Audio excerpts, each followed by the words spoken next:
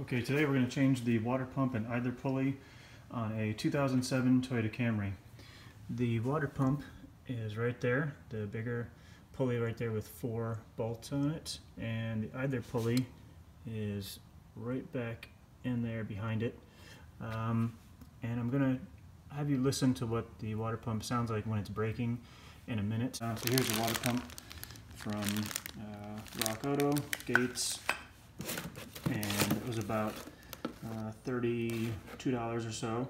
Um, so not, not, too bad. Comes with a little, little gasket right there. And then the idler pulley, also from Rock Auto, about $13 uh, uh, so at AutoZone, this by itself would have been about 70 bucks. Um,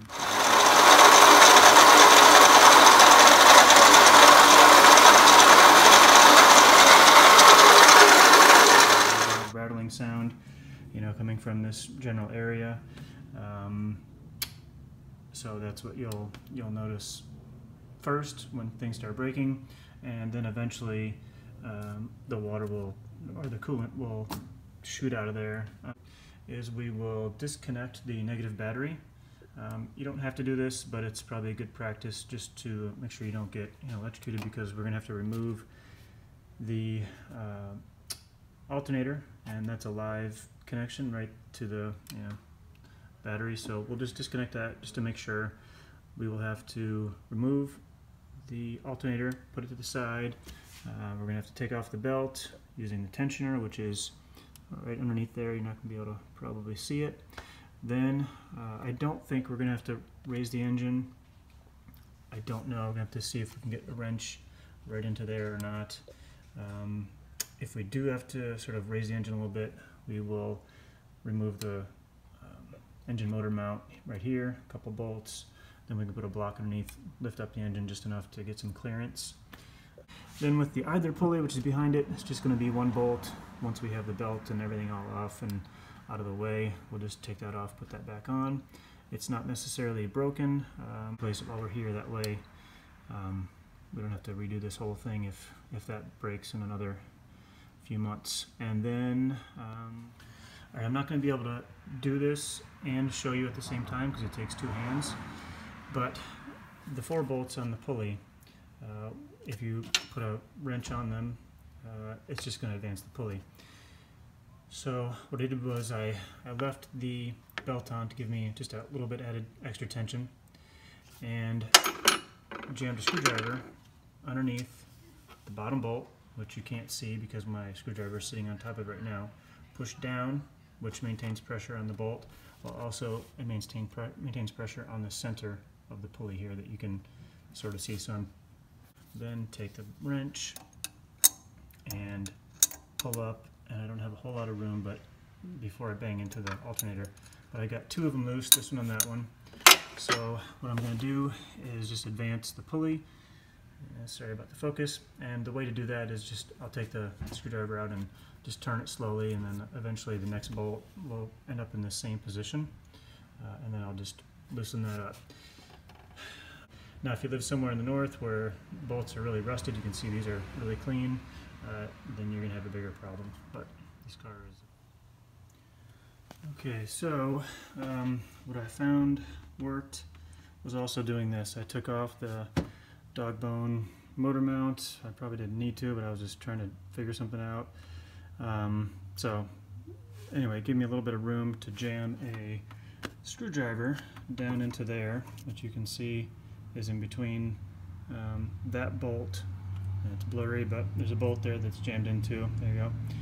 And then you that made enough pressure for when I'm turning it that way uh, that the resistance was good enough.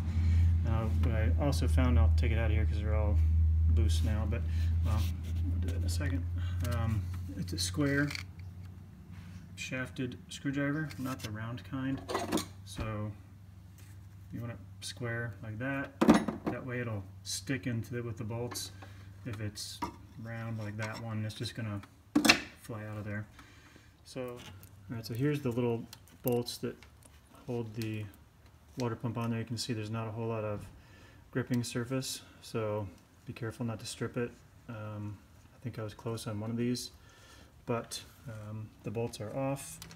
Now we're going to take off the belt. There's a 19 millimeter uh, tensioner, which the camera's not going to see, but it's right above the idler pulley, and you're going to push uh, down. So right, you know, clockwise to loosen it. All the other bolts normal, left is loose, right is tight. But on this one, um, you're going to push down, and that'll loosen up the belt. Before you do that, make sure you get a good picture of what the belt um, looks like, the um, serpentine part of it. I drew um, real quick, so get the alternator up top here, and goes over to the power steering around the idler pulley, which we're also going to take off, crankshaft, air conditioning, and then finally to the water pump and back up. So, okay, the uh, alternator is moved out of the way. Just there's uh, one large bolt over here, which I believe was 14 millimeter. Then there's a small one down here, which was 12. Let's move it over to the side. I just took the pulley off of it. Uh, just should just pop it off with your fingers or tap it lightly with something. And what we're going to do now is remove these bolts. There's one here, one here, um, another one over here. So there's a handful of them. Uh, once you get into it, you'll see it. But I think there's probably two of these. And it's out of focus, but two of these, I believe, and probably two of those. So probably four. Once that comes off, then we'll tap this and the whole thing should come off. When that happens, there'll be fluid that's going to come shooting out of there. So below, you can't see it, but I have some containers to catch any overflow. Um, but yeah, that's what we're going to do. Take off. Maybe there's five of these total, but uh, that's what we're going to do next. This was the tensioner, which you already may have seen or are seeing right now that I was talking about. Push this way, and here's the idler pulley that we'll take off a little bit later. Okay, there were six bolts um, all around. The worst one was way down in the middle um, center, but there's six of them. And just tap it lightly with a hammer or anything, and the fluid will come out. And then there's the old water pump. Okay, I just took the idler pulley off, and that's the new one on there. It's just a 14 millimeter bolt. Um, it's just uh, righty tighty, lefty loosey, same as normal. Here's the old one. Like I said, I don't know if it was bad, but since I'm here, just replace it. Um, and um, just put it back on there again. One bolt, fairly easy. It's just a little bit difficult with your hands. There's not a lot of room, so I, I took the wrench and had it way down in there, pulled up, and then it came out. So idler pulley replaced. Next, uh, we're going to clean off the surface. It's blurry, but we're going to clean off the surface of the water pump. Get that nice and clean before we put the new one back on, and that'll be uh, getting, closer to getting home, but um, it just has to be real clean for the new pump to get on there. So I want to make sure there's no seal. Like here's the seal the, for the old one. Now what I'm doing is just putting some degreaser, uh, parts cleaner everywhere, um, just to get off all the grease that's around there because it was pretty greasy, which will um, make it a little bit easier when I'm putting all the bolts back on that my hands won't be all slippery and slimy. Also, I'm going to use a plastic scraper um, just to go around the edges of the water pump just to make sure that uh, there's no residual um, gunk on there or the sealer, I'm sorry, the uh, gasket, anything like that. And I'm using plastic because since it's aluminum, you don't want to use a, you know, maybe another metal scraper and possibly risk scraping or marring it. Um, it's a little bit softer of a metal, so just be careful with that. Use a lot of degreaser, help get it all off. Um, all right, here's the water pump. I put the gasket on there, and it looks like I sloppily put some gasket sealer on there as well. Um, but uh, it's really just sort of sloppy on the outside here, where um, it's going to be okay. On the inside, I pretty much got most of it off. Um, but you don't want that gasket slipping around when you're trying to put it on there. And um, I think it just looks worse than it is because I smeared it all over with my fingers. So now, all right, the water pump is on, and um, when you put the bolts on, just use a star pattern and this little uh, keyway that the wire fits in. Just kind of little leave a little bit loose until you're done getting that one in there because it's in the way of that bolt. So just star pattern it on there. Don't over tighten it. I believe put them on there just snug. They weren't very difficult to get off, so just don't overdo it, but just make it snug.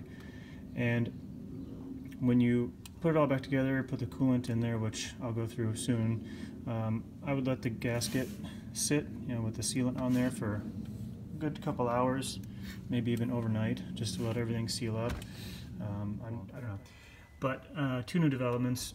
What I'm going to do when I put it back together is I get a Allen wrench, which is uh, I have you know, a lot of different lengths of them, so it's about the length of your finger approximately. Um, there's a little hole, there's two of them actually, for the special tool that Toyota probably has, but I don't. Um, if you put that in the hole, you can line it up into this keyway that's right here. So you see there's the Allen wrench stuck in all the way through to the keyway. Then when I put the little bolts back in, I'm hoping that that will stop it from moving. Also, because that space is so small, I bought a pass-through ratcheting wrench. So I'm going to use that. It's perfect amount of leverage with the uh, Allen key in there and then the ratcheting instead of the box end wrench that I was using. Then when you're all done, just obviously take that out. And as you switch it around, hopefully um, there's another hole over here that you can just turn it once you get past these two or three bolts. So that's what I'm going to do next. Here's a word of warning on using that keyway. As I just finished the last bolt, a piece of it broke off. Um, so just be very careful about that. Didn't expect that. So I don't think that's going to cause any problems. But then I did the old-fashioned method of putting the screwdriver in here and then tightening up and so the rest are all tight and everything looks pretty good moving there's the new idler pulley so everything seems good and now we'll bolt the alternator back in place which has two bolts one and two. So now we have the alternator put into place. It just has the two bolts one here one at the bottom. Uh, it's a little bit difficult to see but it's down there. Plugged everything back in. The battery is still unplugged, uh, negative terminal is still off, just to be safe. I put the uh, motor mount back on there, the bracket. These didn't need to come off, I just took them off because I thought I might need some more room. So you don't need to take these off, even though I did. Um, but let's put them back together if you did take them off. And the water pump has been on there overnight, so now we're going to put the belt on which is obviously the reverse of taking it off. So we have the tensioner right down there, which I believe is a 19 millimeter. We're going to push it um, down to loosen it up, and then we're going to loop it around all the belts or all the pulleys that we can, and probably. But this is where the drawing of the belt uh, comes in handy. So I've got this right in front of me, and uh, you'll want to make your own just in, just in case. To put the belt on, it's going to be easier to take the tire off, take off this splash guard that's on here, then you'll be able to get to the crankshaft pulley and at least hold it on there, and power steering which is up in there. Um, so that's going to be the best option because there's not much room for your hands. Um, okay, uh, the belt is on. Um, it's better just to start it over the alternator and then when you're pushing down on the tensioner, just to slip it over the water pump pulley that you just put on there. That's the best option. Um, over here, I'm just draining out the remaining coolant from that yellow um, yellow gate right there. It's emptying out. Okay, so now everything is up to speed, and we'll turn the car on so you can hear the difference.